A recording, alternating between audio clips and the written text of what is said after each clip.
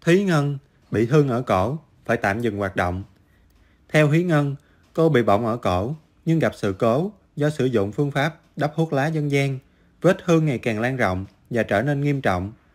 Với một số chương trình phải ghi hình gấp và không thể thay đổi lịch trình, Thúy Ngân đã dùng khăn hoặc áo che đi vết thương.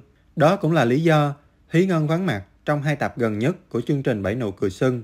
Thúy Ngân chia sẻ như sau: Tôi sẽ sớm quay lại, đừng quá lo lắng cho tôi. Hiện tại vết thương ổn, tôi cảm ơn mọi người đã luôn quan tâm và yêu quý. Quản lý của Hí Ngân cho biết, vết thương ở cổ của nữ diễn viên đã tạm ổn. Hy vọng Hí Ngân sẽ sớm trở lại công việc trong thời gian gần nhất.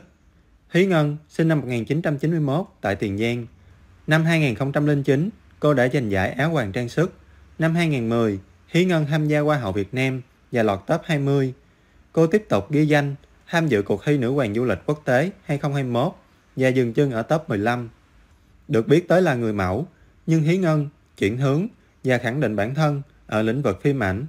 Cô góp mặt trong hàng loạt dự án phim truyền hình như Sao đổi ngôi, Sát thủ hoa hồng trắng, Kẻ bán linh hồn, Lấy chồng sớm làm gì, Bến nước 13, Qua nở mùa đông, Nước mắt chảy ngược.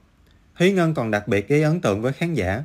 Qua vai Hân, trong gạo nếp gạo tẻ, năm 2021, Hí Ngân tiếp tục ghi tên trong bộ phim Ăn khách, Cây táo nở hoa và trở thành người chơi trong chương trình Running Man Việt Nam mùa 2.